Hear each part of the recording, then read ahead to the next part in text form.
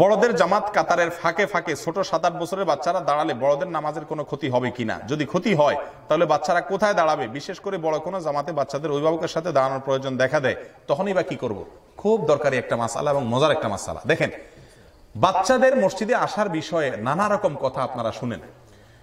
একেবারে ছোট বাচ্চা যাদের নামাজের কোনো বুঝ নাই, এদেরকে মসজিদে আনা যাবে না। আনা উচিত না, কারণ অন্য মুসল্লিদের তশবিশ করবে। কিন্তু যদি আসে, নিন্দনীয় না এখানে রসুল আকরম সাসলাম নাতিকে কোলে নিয়ে নামাজ পড়ছেন, এরকম হাদিসও আছে। খোদবা রেখে নেমে গেছেন নাতি পড়ে গেছে, তাই কোলে নিয়ে যায় আবার দাঁড়ায় খোদবা দিচ্ছেন এরকমও আছে। এখন যদি খতিব সাহেব আপনাদের মসজিদে মিম্বত আয়সা নাতি কোলে নিয়ে আবার যায় খোদবা দেয়, চাকরি থাকব? আপনারা বলবেন যে, হুজুর তো আস্ত দুনিয়াদার একটা। অথচ রসুল আসলাম এরকম করছেন। এই জন্য বাচ্চাদেরকে মসজিদে আসা, এই হাদিস থেকে বোঝা যায়, এটা নিষিদ্ধ না। হ্যাঁ যে বাচ্চা ডিস্টার্ব করবে পেশা পায়খানা করে দিবে, তাকে না আনা উচিত। কিন্তু বাচ্চারা যদি আসে, বড়দের সাথে কাতারের মাঝখানে দাঁড় করাবেন। ওলামা একরাম, মোতাকাদ্দিমিন, ওলামা একরাম বা আগের ওলামা একরাম ফতোয়া দিতেন যে তারা পিছনে দাঁড়াবে।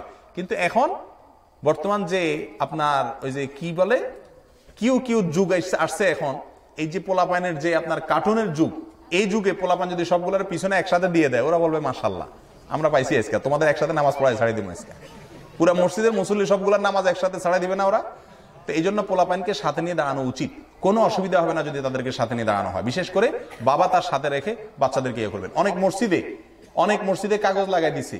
ফেসবুকে দেখছি যে এই মসজিদে বাচ্চাদেরকে নিয়ে প্রবেশ করা নিষেধ। কে অধিকার দিছে আপনাকে মসজিদে বাচ্চাদের প্রবেশ করতে নিষেধ করার? রসুল আকাম সাহসালামের যুগে মহিলা বাচ্চাদেরকে মসজিদে আসার সুযোগ দিয়েছেন। এবং আজকের বাচ্চা আগামী দিনের মুসল্লি। সে আজকে মসজিদে না আসলে সে থেকে শিখবে? আমাকে এদেশের নাম করা একজন আলেম, আমি নাম বলব না, এক নামে সারা বাংলাদেশের প্রত্যেকটা মানুষ চিনবেন, ওনার ছেলে মোদিন ইউনিভার্সিটিতে পড়ে। আমাকে বলছে একদিন যে, শেখ, আমি ছোটবেলার কথা মনে উঠলে আমার এখনও কষ্ট হয়। কি হয়েছে? বলে যে যে কোনো মসজিদে যাইতাম, প্রত্যেকটা মসজিদে দুই তিনটা বুড়া থাকে। এদের কাজ হলো ছোট পোলাভার আসলে এগুলার চোদ্দ গোষ্ঠী উদ্ধার করা। একটু আশা ভরসা করে মসজিদে যাইতাম পোলাভান মানুষ এটা দুষ্টামিতে করবোই। উনি এমন জোরে ধমক দিত, মনে হয় যে আমি চুরি করতে আসছি। এই কারণে অনেক পোলাভান মসজিদ থেকে এই যে পথছাড়া হয় আর মসজিদ তারা আর আনা যায় না। এই ছেলে যে পথারা হলো, এর জন্য আপনারা দায়ী থাকবেন, যারা বাধা দিবেন। বাচ্চাদের দুষ্টামিকে হজম করতে হবে, মনে রাখবেন। তাদের দুষ্টামিকে হজম করতে হবে, সহ্য করতে হবে। এবং এটাই হলো সুন্না তবে হ্যাঁ আগেই বলছি, একেবারে ছোট বাচ্চা, পেশাব পায়খানা, তেমিজ করতে পারে না, নামাজ বুঝে না। এদেরকে মসজিদে এনে, মসজিদে মুসল্লিদের তাসবিশ করা উচিত না। আর যদি মনে করেন, আমার মসজিদে কয়দিন আগে এক বাচ্চা এনে পেশাব করে দিস।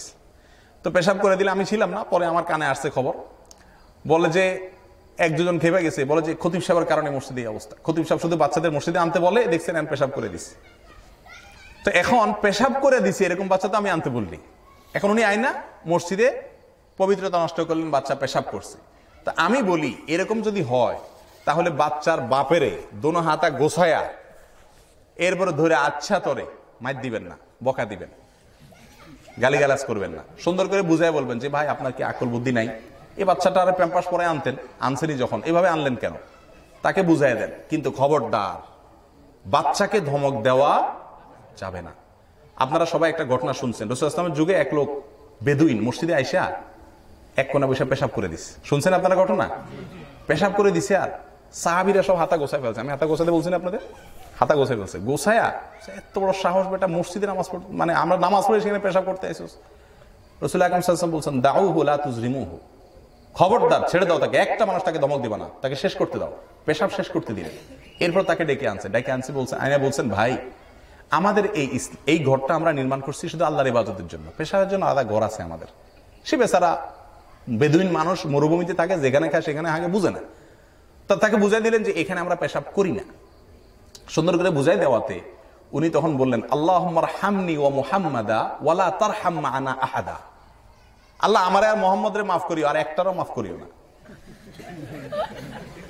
দেখছেন নি কোথায় গিয়ে ধাক্কা লাগছে? তখন রসুল আকরম সাসলাম ওই লোকরা আবার আবার শিখাচ্ছেন, দেখেন, আমাদের রসুলের শিক্ষা দেখেন, আবার শিখাচ্ছেন। আখলাকের কথা বললাম না, আর সেই আখলাক কোথায় আমাদের? মসজিদ থেকে গেউ গেউ করি আমরা।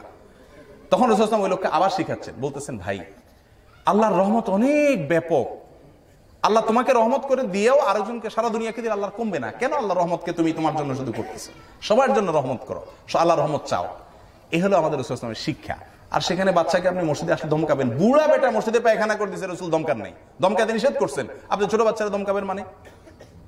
হ্যাঁ আমি আবারও বলছি তা সুইশ করে এরকম বাচ্চাদেরকে আনবেন না। আনলে নিজ দায়িত্বে রাখবেন। মসজিদে পবিত্র খেয়াল করবেন। কিন্তু বাচ্চাদেরকে মসজিদে আসার জন্য উৎসাহিত করবেন। আজকাল কিশোররা মসজিদে আসে না। আমরা ছোটবেলায় দেখছি কিশোররা প্রচুর মসজিদে আসছে। এখন ওই যে মসজিদে কিছু লোক থাকে, হাতা গোছায় থাকে, আসলে এগুলো দৌড়াবে। মনে হয় শয়তান আসছে মসজিদে। আজীব কথা। আল্লাহর বান্দা আল্লাহর ঘরে আসবে না, কোথায় যাবে? এই জন্য তাদেরকে আসার জন্য উৎসাহিত করা উচিত, তবে শর্ত সাপেক্ষে। আল্লাহ তালা আমাদের সবাইকে বুঝার তৌফিক দান করুন।